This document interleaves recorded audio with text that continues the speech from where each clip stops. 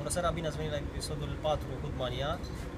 În seara aceasta voi uh, detalia mai multe evenimente din Champions League, cât și de mâine tot din Champions League.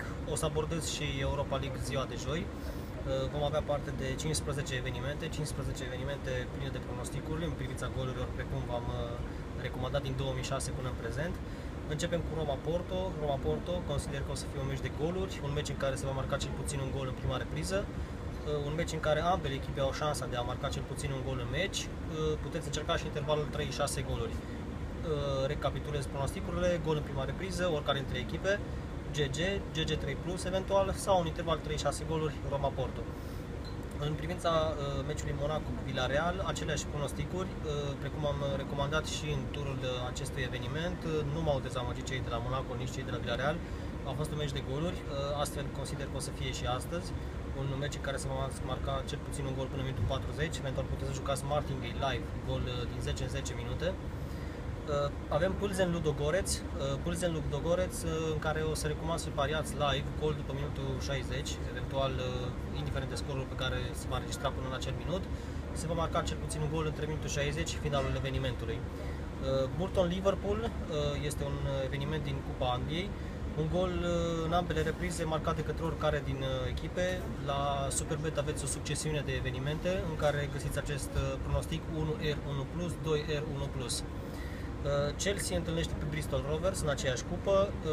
Precum am menționat la Pulzen cu Ludogoreț, consider că o să înscrie un gol pe final de meci după minutul 60 până la finalul evenimentului. Astfel puteți să jucați chiar un combo, Pulzen Ludogoreț și Chelsea Bristol Rovers, gol live după minutul 60. Uh, mai avem parte de un meci din Franța, Clermont-Creteil, uh, recomand un gol în prima repriză, cel puțin un gol, sau interval 1-2 goluri. Tot astfel uh, veți găsi aceste intervale de goluri la Superbet. Recomand pentru această casă de pariuri, având în vedere faptul că au cea mai bună ofertă în privința golurilor. În viitorul apropiat o să vă recomand și o casă de pariuri online, o casă de la care și eu voi paria, de la 1 septembrie. Uh, mă gândesc la Betano, însă mai, uh, mă mai consult și cu colegii mei. Uh, prin urmare, ziua de astăzi am zis Roma Porto, Monaco Villarreal, meciuri de goluri multe, Pulzen Ludogorets și Chelsea Bristol Rovers, gol după minutul 60, Clermont Creteil, minimum gol în prima repriză. Bun, pentru ziua de miercuri am ales două meciuri GG, meciurile GG ale zilei, Rostov Ajax și Salzburg Zagreb. Precum vă menționam faptul Ajax este în scădere de formă, Rostov este o echipă foarte bună a, a Rusiei, alături de Krasnodar. Krasnodar și Rostov v-am menționat și în ultima emisiune, consider că sunt echipe mult mai uh, ofensive decât CSKA, Spartak sau Lokomotiv Moscova. Iar Salzburg Zagreb sunt două echipe asemănătoare care abordează un stil ofensiv. Prin urmare, Rostov Ajax și Salzburg Zagreb uh, merg GG.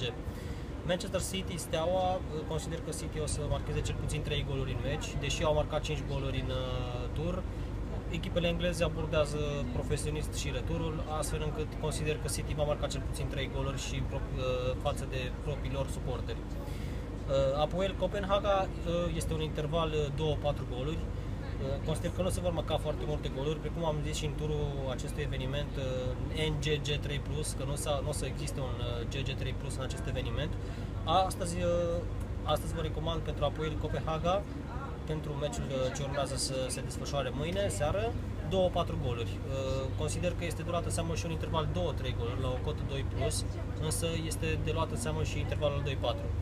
Mönchengladbach, Young Boys, Uh, aici am recomandat și în turul campionatului, în turul uh, acestui eveniment, uh, gol în ambele reprize, 1 r 1 plus, 2 r 1 plus. Astfel am avut parte și în tur. Nu m-au dezamăgit, nemții sunt considerați a fi o echipă de goluri, precum vă menționam, am multe echipe de goluri din tot, tot campionatul, toate campionatele ce se desfășoară în Europa, cât și în străinătate, chiar și din Asia, Australia sau chiar și Africa, Nordul Africii. Uh, Mönchengladbach și Hoffenheim, de exemplu, sunt echipele de bază ale GG-urilor din Bundesliga în ultimii ani. Uh, mă bazez foarte mult pe aceste echipe. Uite că se întâlnește Mönchengladbach din nou cu Young Boys. Young Boys este revelația uh, din Elveția. Le țin pieptul celor de la Basel în competiție cu Grasshopper, să zicem. Grasshopper care o să aibă cu Fenerbahce, din câte am analizat în Europa League un eveniment două echipe destul de ofensive, atât Young Boys cât și Grasshopper, ca mică paranteză. Prin urmare, München, Gladbach, Young Boys, gol în ambele reprize. Uh, în Cupa Angliei avem Fulham Middlesbrough, este fără să mai arunc nicio geană asupra uh, statisticilor, consider că o să fie GG, este cred că cel mai uh, echilibrat eveniment din această cupă, Fulham Middlesbrough. Prin urmare, puteți să încercați gol în prima repriză sau GG în uh, tot uh, meciul. Avem parte joi de Europa League, uh, trei evenimente. Eu consider că Osman Lispor Midtjylland, revelația Turciei, dacă în Elveția o avem pe Young Boys, în Turcia o avem pe Osman Lispor. Osman Lispor, o echipă în creștere, o pot considera a fi asemănătoare celor de la Ludogoreț, Ludogoreț care în ultimii patru ani au urcat destul de mult, ca și formă, ca și rezultate, cât și ca și performanță. Uh, Midtjylland, uh, precum vă menționam în episodul 2 și 3, Hoodmania, uh, alături de Copenhaga și Rosenborg sunt principalele echipe de, ca forță în fotbalul scandinav. Prin urmare, atât la Osmani Sport Midtjylland, cât și la Grasshopper Fenerbahce, vă recomand să pariați GG, ambele echipe marchează. Puteți juca un combo chiar gol în uh, prima repriză Osmani Sport Midtjylland sau gol în prima repriză Grasshopper cu Fenerbahce, formând o cotă 2+, plus, fiind cotele destul de mari, 1.40. Ar mai fi West Ham cu Astra, Astra care este în scădere de formă, nu este doar o, o echipă palidă, o echipă care nu, nu mai uh, se aseamănă deloc cu ceea ce a jucat în sezonul anterior când a fost uh, câștigătoarea campionatului nostru merg tot pe West Ham, West Ham gol în prima repriză, uh, precum vă spuneam, englezii abordează destul de profesionist uh, retururile cupu, fiecare cupe în care activează în fața propriilor suporteri, nu cred că vor, uh, vor merge doar pe o frână anterioară. Consider că West Ham va marca un gol în prima, în prima repriză, Astra au, au, din câte am înțeles la un prieten care are anturajul în acest uh, club uh, apropiat uh, nu merg nici cu primul 11, chiar dacă au înregistrat un scor destul de bun în tur, West Ham este favorită și consider că o să marcheze până în minutul 40 chiar un gol. Prin urmare puteți să jucați chiar Martingale, gol West Ham până în minutul 10, dublând miza până în minutul 20, până în minutul 30, până în minutul 40, până vor marca. Consider că o să marcheze destul de, de repede, atât West Ham cât și Manchester City le puteți juca într-un combo. Prin urmare, aceste 15 evenimente ar fi pentru zilele de marți, miercuri și joi. Uh, vi le-am prezentat pe scurt. În cazul în care întâmpinați uh, probleme, nu ezitați să mă contactați. Momentan sunt în concediu, dar uh, precum ați observat în fiecare zi ați avut recomandările zilnice postate până la ora 12, iar emisiunea a avut loc atât marțea cât și vinerea.